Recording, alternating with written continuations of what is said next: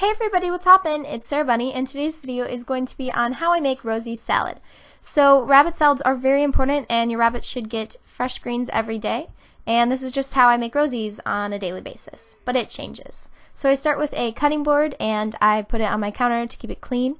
Today I'm adding romaine lettuce as one of her greens. I'm also adding spring mix, which has a bunch of different types of lettuce, cilantro, and also basil. Those are the greens I chose. And then I also add bell pepper for added nutrients. And I'm just going to put those all into a colander and I'm going to wash them in the sink. It's very important to do this because there are usually a bunch of like pesticides. Even if they're pre-washed in your grocery market, it's really a good idea to do this just to get everything off and it's very important and I would never skip out on washing them.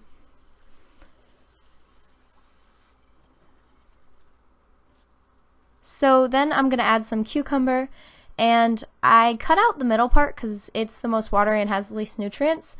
So I basically cut that out and this is slightly dangerous and no I'm not doing a great job. It's for a rabbit, she doesn't care what it looks like. Um, then I wash it up and just give her the outside parts. Then I put everything on a plate and usually I hand feed her some of it but sometimes if I don't have time, if I'm like running out the door, I just put it on a plate and I give it to her. And Rosie's pretty good. She usually always eats every single one of her veggies and she eats a lot. So she's a good rabbit that way. So I hope you enjoyed this video. Please comment, rate, and subscribe and keep hopping. Bye filmed a haul in over six months, and that's just because I've been just buying supplies recently. I went to Petco and TJ Maxx yesterday with the intention of getting bedding, but